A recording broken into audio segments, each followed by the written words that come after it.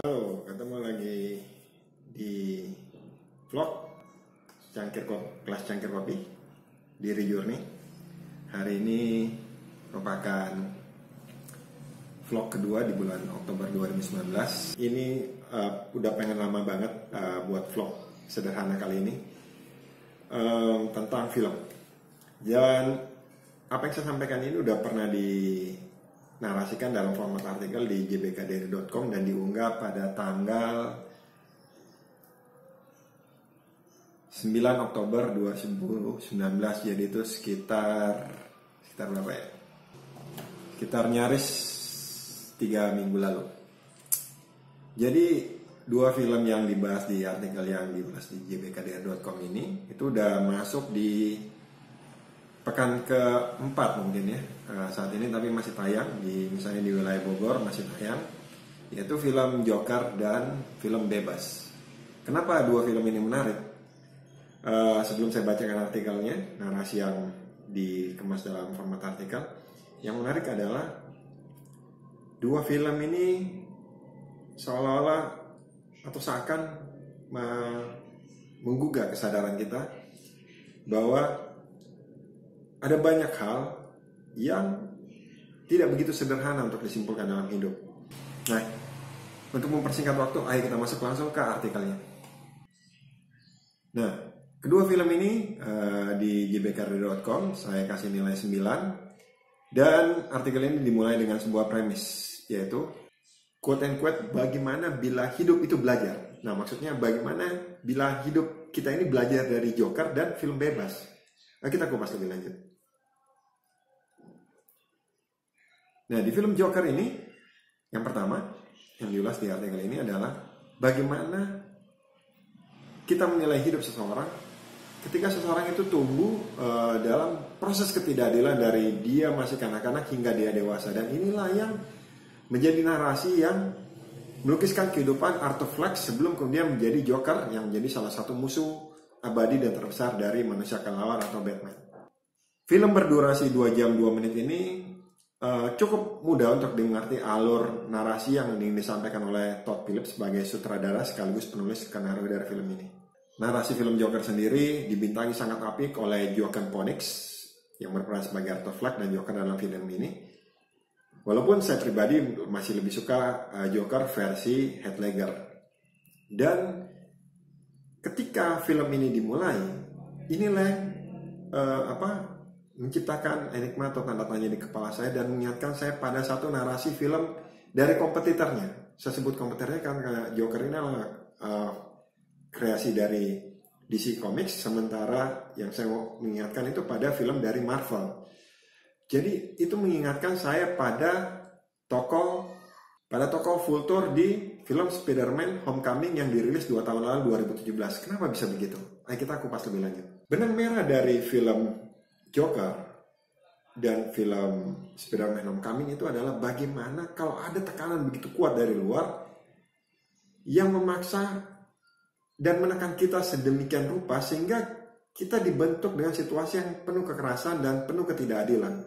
Itulah yang uh, jadi benang merah di film ini. Nah, kalau Anda penggemar film superhero dan udah pernah nonton Spider-Man Homecoming, Anda pasti ingat uh, di bagian atau scan ketika Vulture itu bisnisnya itu dikat oleh Stark Industries tanpa kompensasi apa pun. Padahal dia udah melakukan investasi yang cukup besar. Nah Stark Industries ini udah pasti tahu itu milik Tony Stark atau Iron Man. Toko Vulture itu sebelum jadi Vulture dia bernama Dan Tom seorang pria baik seorang pengusaha kelas menengah yang kemudian dipotong oleh Stark Industries tanpa kompensasi apa pun dan itu yang membuat dia kemudian sakit hati dan melakukan menjadi katakanlah tokoh jahat dalam film Spider-Man Homecoming. Inilah yang mengingatkan saya pribadi juga pada ada banyak kejadian dalam hidup yang kita tidak pernah bisa simpulkan hanya dengan melihat framing media atau persepsi publik.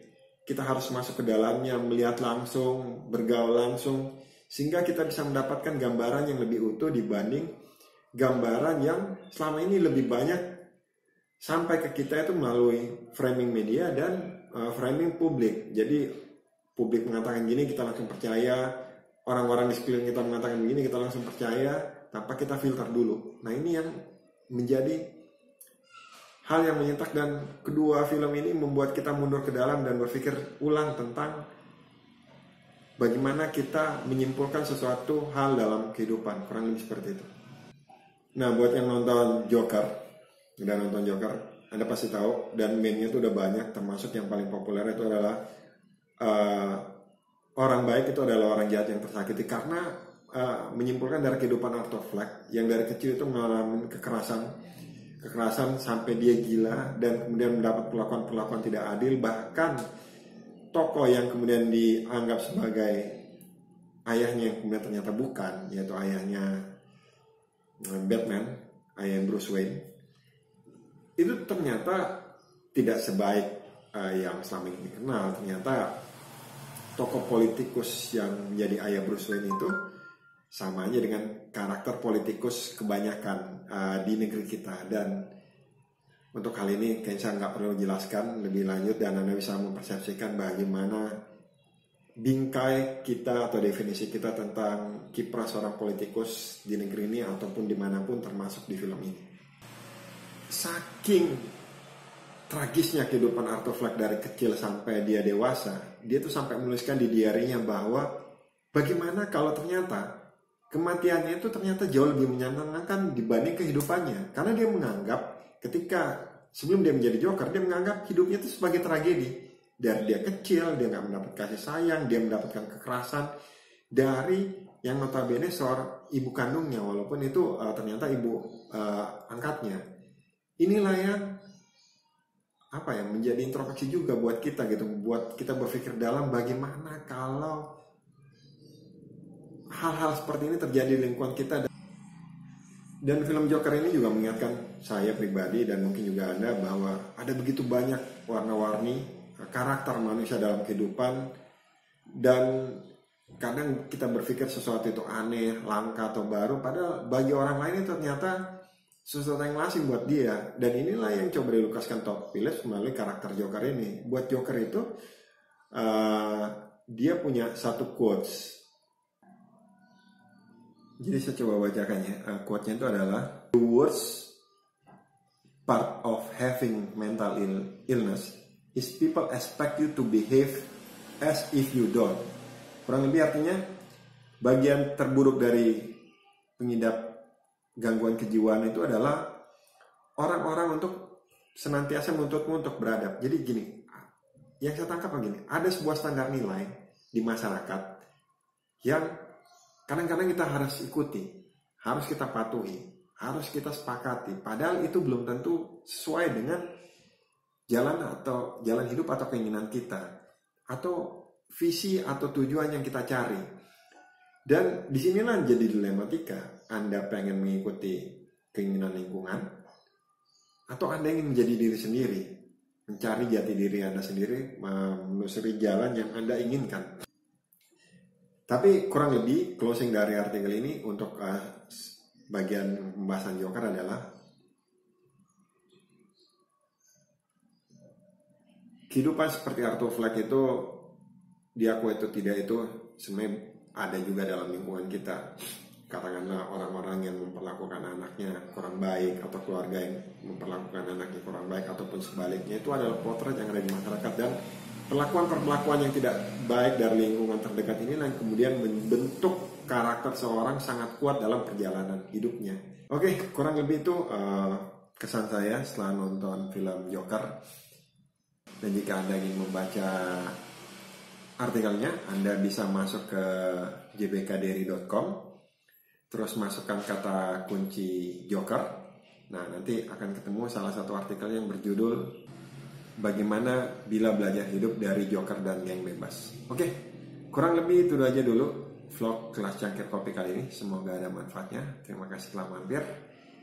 Dan jujur, uh, apa yang saya bacakan ini adalah vlog yang sederhana. Saya hanya berusaha mempromosikan juga apa yang telah saya tulis di jbkd.com.